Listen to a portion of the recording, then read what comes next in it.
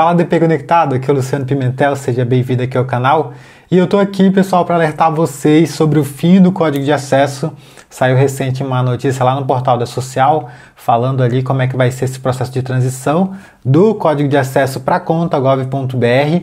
Eu estou falando aqui do código de acesso do portal da Social, tá? Então, se você tem doméstico, se você fazer acesso de e-mail e até de empresas do Simples com até o empregado via código de acesso, saiba que em breve esse tipo de acesso vai encerrar e passa a ser a partir da conta gov.br. Quer saber de todos os detalhes? Fica comigo até o final e não se esquece de se inscrever aqui no canal, ativar a notificação e deixar o seu like.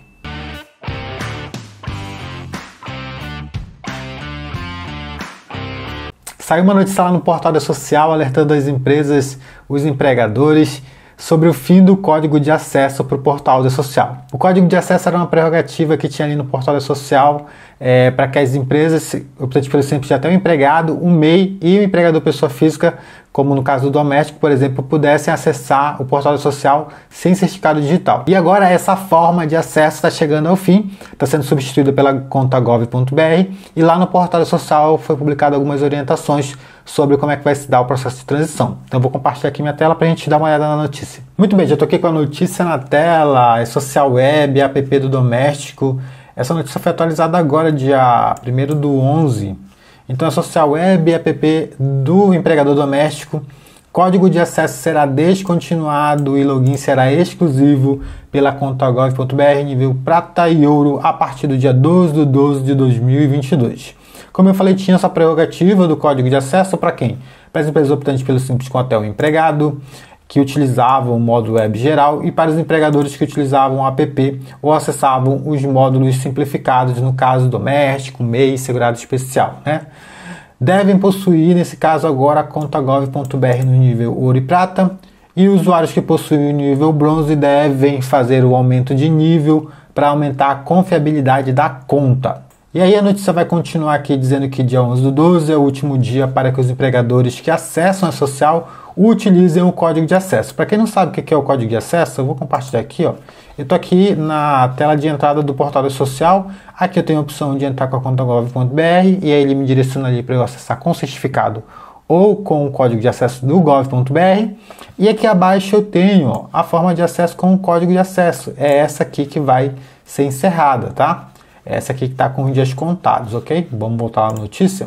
Então, a partir do dia 12, o código de acesso será descontinuado no módulo web, empregador doméstico e somente serão acessados utilizando o login único da conta do gov.br nos níveis de confiabilidade ouro e prata. Aqui ele vai dizer como é que pode aumentar o nível de confiabilidade, mas assim, sendo bem prático, baixe o aplicativo do gov.br no celular, faz o reconhecimento facial e já era, você vai para nível ouro e tá tudo certo. Tá? Inclusive, se eu não me engano, tem um vídeo aqui no canal ensinando você a ir para o nível ouro da conta, tá bom? E aqui ele vai dizer por que apenas nível ouro e prata. Apenas contas nível prata e ouro possuem grau de confiabilidade necessário para que as declarações sejam feitas no e-social, principalmente porque elas geram direitos é, para os trabalhadores, benefícios previdenciários e podem constituir confissão de débitos previdenciários, fiscais e do FGTS também, tá? Aqui ele vai montar uma escala aqui é, das permissões que tem de acordo com o nível da conta. Não quero me ater muito aqui, tá bom? Eu vou inclusive deixar o link da, da notícia aqui na descrição para vocês darem uma olhada. Aqui tem os, os, serviços que podem acessar de acordo com o perfil. Aqui ele vai dizer como é que pode aumentar o nível da conta. Eu já recomendei, né? Baixe o aplicativo no celular e faz aqui ó, o reconhecimento facial. Ele vai pegar os dados da Justiça Eleitoral e você consegue ter é, o nível ouro, tá? Aqui tem outras formas também que você pode, essas três primeiras aqui, é como você pode aumentar para nível prata e essas duas últimas como você pode aumentar para nível ouro, tá? Tem também a validação via certificado digital, você consegue validar para nível ouro também, tá? E aqui ele vai trazer alguns pontos importantes. O primeiro, precisa de certificado digital? Pessoal, eu, como eu trabalho na área, né, trabalho com consultoria, trabalho também é, com departamento pessoal e trabalho também com imposto de renda, algumas coisas voltados para a área fiscal, é importante ter certificado digital. Hoje é muito difícil quando um cliente não tem certificado digital, porque o cliente tendo certificado digital, ele cadastra a procuração para você e aí você consegue fazer, por exemplo, esses serviços. Olha, no caso da social, o cliente pode dar uma procuração de 5 anos, que é o limite. Então, nesse caso específico, isso aqui. Então, já ajudaria bastante. E também tem certificados digitais hoje, por exemplo, de três meses, que chega até, no momento que eu estou gravando esse vídeo, chega até 50 reais. Então, é um investimento que o teu cliente acaba fazendo ali, é rápido, ele cadastra a procuração para você no ECAC e você que trabalha na área dificilmente fica sem certificado, né? Então, você vai poder fazer né, esses acessos para o teu cliente via procuração, tá? Não com certificado do cliente. Mas bora olhar aqui qual a orientação que eles deram. O envio dos eventos de social utilizando o sistema próprio de gestão de folha, como nos casos de história de contabilidade das empresas, nada mudou, tá? Todos os arquivos enviados devem possuir assinatura gerada com o certificado digital. Então, isso aqui é para as demais empresas, tá tudo certo. O que mudou então com relação ao código de acesso no módulo web é a utilização do aplicativo do social doméstico. Nesse caso, os usuários que realizam o login via código de acesso e senha passarão a utilizar a conta gov.br no nível ouro e prata, tá? Aqui, claro, existe a prerrogativa. Tem muitos empregadores domésticos que não têm certificado digital e também às vezes a gente pode dizer que não tem necessidade. Então, essa aqui é uma prerrogativa agora, é via conta gov.br e hoje praticamente todo mundo tem conta gov.br. O gov.br é uma plataforma do governo que reúne diversos serviços então a pessoa acaba tendo, né? Quem tem é, título, quem tem é, a carteira de trabalho digital, quem tem a CNH digital, enfim, muitos serviços estão ali na base do gov.br. Para as empresas em geral, o acesso pela conta gov.br é feito utilizando o certificado digital da pessoa jurídica, mas alguns tipos de empregadores simplificados podem acessar os módulos web sem necessidade de certificado digital, que é aqueles casos lá, né? Da pessoa física, do MEI e da empresa do Simples Hotel Empregado. E aqui eles montaram um quadro com um resumo de credenciais mínimas para acesso social. Eu achei bacana que dá para a gente conseguir entender melhor. Aqui na coluna eu tenho pessoa física e aqui eu tenho na segunda coluna pessoa jurídica, tá? A primeira linha, acesso como empresa em geral. Aqui nesse caso o acesso é feito via certificado digital da PJ, tá? Segunda linha, empregador pessoa física em geral, como produtores rurais, advogados e médicos. O acesso é via certificado digital da pessoa física, pode ser feito. Né? Empregador doméstico, via contagov.br. Segurado especial sem CNO, via contagov.br. CNO de segurado especial, tem que ter certificado digital da pessoa física. Aqui eu achei bacana, ó, que achei muito bacana, que é com relação ao MEI, por exemplo. O MEI ele vai poder acessar via o representante do MEI, que tem ali conta gov.br, ele vai conseguir acessar com código de acesso, depois fazer a troca de perfil e acessar o modo simplificado do MEI.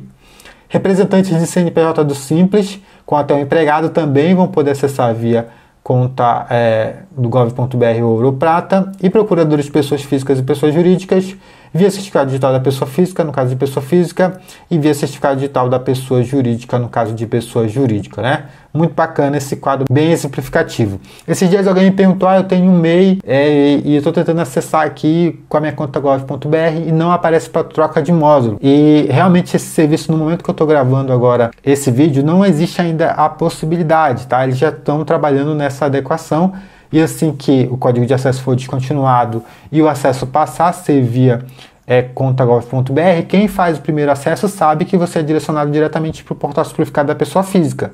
E aí lá no canto superior vai aparecer o ícone de troca de módulo, você clica lá e troca o módulo e acesso simplificado do MEI, tá? Então existem essas possibilidades aqui, eu acho bacana. E exatamente o que ele vai dizer aqui, ó, no login o usuário é, será direcionado para o módulo da pessoa física e deve fazer a troca de perfil ou módulo. Aí ele troca o módulo, tá? Aqui ele traz um alerta bacana, eu já tinha feito um vídeo falando sobre isso, que é o acesso por terceiros. Ah, eu sou um empregador doméstico, mas quem faz a folha do doméstico, o social doméstico, é a contabilidade. Como é que fica então?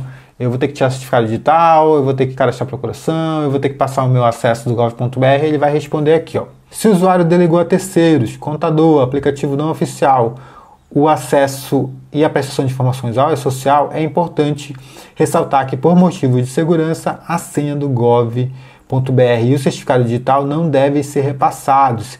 Eles sempre frisam essa questão né, de, de segurança, de segurança da informação, de você não ficar compartilhando o teu certificado digital, o teu acesso. Por quê? Já falei, né? Certificado digital, com certificado digital a pessoa consegue fazer muita coisa, né?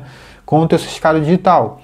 E com o teu acesso do gov.br, pode acessar todos os serviços do governo que estão na plataforma, como se fosse você. Então, existe aí um cuidado que não deve, você não deve repassar. O ideal é que você cadastre procuração para essas pessoas fazer o envio dessas informações. Então, esse terceiro de posse da senha ou do certificado digital do usuário terá acesso amplo a vários sistemas digitais, podendo praticar atos em seu nome. Por isso que eles dão um alerta, né? Por motivo de segurança, você não deve compartilhar. Para esse caso, o correto é o cidadão é, otorgar procuração para terceiro, dando poderes para realizar os atos exclusivamente relacionado ao social, sem comprometer a segurança dos dados, dos seus dados. O procurador utilizará o seu próprio certificado digital para acessar o sistema e prestar as informações em nome do empregador no e-social. Então, vai criando um rastro ali de segurança, de assinatura digital, você passa a procuração, o ideal é você fazer isso, tá? E aí, aqui ele vai trazer orientações de como criar a outorga, tem um vídeo aqui no canal ensinando você a passar, a cadastrar a procuração para um terceiro no ECAC, que é a forma mais simples caso você tenha é, certificado digital. E se você não tiver certificado digital, eu queria que você comentasse aqui abaixo se você quer que eu faça um vídeo aqui ensinando você a fazer a cadastrar a procuração via formulário, que eu venho aqui e gravo um vídeo com as orientações eu vejo muitos é, empregadores de pessoas domésticas que estão com interesse de saber ah, como é que eu posso fazer. Eu não tenho certificado digital, eu só tenho senha do gov.br, como é que eu faço para cadastrar a procuração? Nesse caso, você vai ter que fazer via formulário. Então, se você quer que eu faça um vídeo falando sobre isso, eu queria que você deixasse um comentário aqui abaixo, tá? E aqui ele traz orientações de como você pode fazer a outorga. Eu vou deixar esses links aqui. Aqui ele fala tanto, né, utilizando certificado digital, que é a maneira mais simples. Eu já, eu já tenho um vídeo aqui no canal, vou deixar o link aqui abaixo, é bem simples de fazer. E via formulário também ele está trazendo as orientações aqui, como é que você faz via formulário, certo? E aqui, a parte de baixo, ele traz os links falando como é feito o acesso com procuração. Então, basicamente, né, é aquilo que eu falei, a pessoa entra ali, que aqui ele, tá, ele vai direcionar direto para o manual, para o manual, né? Então ele vai, a pessoa vai entrar. Deixa eu voltar aqui só um pouquinho. Aqui ele fala, né, quais são os poderes que tem que ser concedido para a pessoa ter acesso, né, social web, grupos de desligamentos especiais, exclusão é, de rotinas. Ele diz quais são os perfis que a pessoa tem que ter acesso. E quando ela vai fazer o acesso, ela entra como pessoa física e aqui na parte superior ela clica aqui opções de trocar de perfil ou módulo. Esse aqui, no caso, é acesso por procuração, tá? E aqui ele seleciona aqui, procuração pessoa física, né? Seleciona, coloca ali os dados da pessoa física e aí ele já consegue acessar o portal, tá? Eu vou deixar o link dessa notícia aqui abaixo, tá bom? E vou deixar também essas orientações que estão aqui para você já ir se organizando. Tem aí no momento que estou gravando esse vídeo, mais ou menos uns 30 dias até que haja essa troca. Muita gente usa o código de acesso, principalmente pessoas físicas porque acessam o modo simplificado e principalmente os domésticos. Então é momento de você se organizar aí para não ser pego de surpresa lá em dezembro. Quem vai fazer via formulário, por exemplo, esse formulário é enviado pelo ECAC lá para a Receita Federal via processo digital. Então leva um tempo para ser liberado, não é assim tão rápido. Então é importante que você já se antecipe e corra atrás dessa procuração, tá? Ainda que o empregador queira te passar o código de acesso, queira te passar o certificado digital, é ideal que você cadastre procuração e que você ou né, faça a procuração via formulário para não ter que utilizar os dados do teu cliente. Como eu já falei, eles enfatizaram aqui que existe toda essa segurança de informação, segurança de dados e você não quer também, né, você que, que vai fazer essas obrigações, você não quer ter problema lá na frente, tá? Foi isso, eu vou deixar aqui na descrição essa notícia, espero que você tenha gostado, não esquece de se inscrever aqui no canal, ativar a notificação, deixar seu like e compartilhar esse vídeo aí com outras pessoas que têm interesse sobre o tema. A gente se vê na próxima, tchau, tchau.